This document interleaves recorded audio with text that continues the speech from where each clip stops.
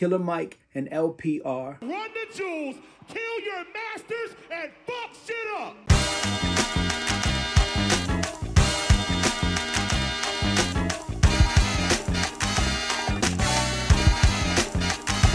Standing 12 inches tall, these Run the Jewels X Trap Toys collabos are an official release done through Teenage Mutant Ninja Turtles and Nickelodeon through Unbox Industries.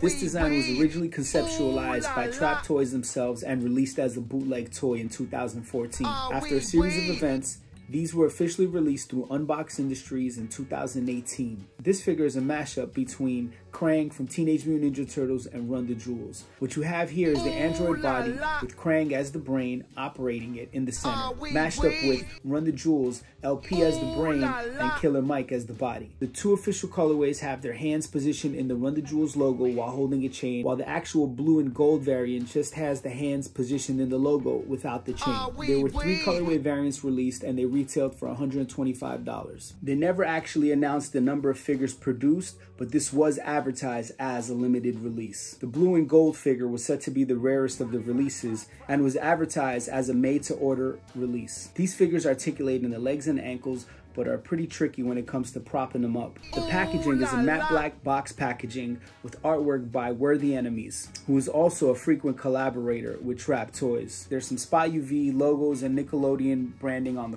front and back, as well as some minor information regarding the release. Run the Jewels is made up of hip hop's Odd Couple, El-P, and Killer Mike. Prior to Run the Jewels, El-P has had a successful career in his group Company Flow alongside his record label Def Jux and as a solo artist. El-P is a rapper and a visionary and an amazing producer. Killer Mike is a solo artist and came from the legendary Dungeon family. These two are from two totally different sides of hip hop, but yet make absolute sense when you put them together. After El-P produced Killer Mike's 2012 album entitled Rap Music, they knew they were onto something. That album was phenomenal. Shortly after, guess what?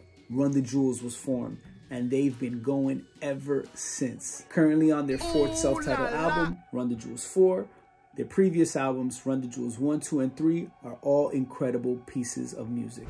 They really changed the perception of how successful indie hip hop could actually be. If you're currently in the market for one of these, you can find the first two variants for up to $250 on select sites, and you can find the blue and gold variant for up to $300 on eBay or other resale sites. Thanks for watching. Make sure to like, comment, subscribe. Follow me on Instagram. If you have anything to add to the conversation, let me know. I'd love to hear from you. Peace.